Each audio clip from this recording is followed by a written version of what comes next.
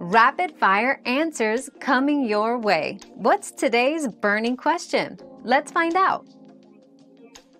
You can't transfer apps directly from Android to iPhone, but you can download them again from the App Store. To transfer data, use Apple's Move to iOS app, which can move contacts, message history, photos, videos, web bookmarks, mail accounts, and calendars. Download Move to iOS from Google Play and follow the instructions to securely transfer your data during iPhone setup. Your daily dose of discovery ends here, but the journey of learning never stops. Subscribe and join us again for more answers tomorrow.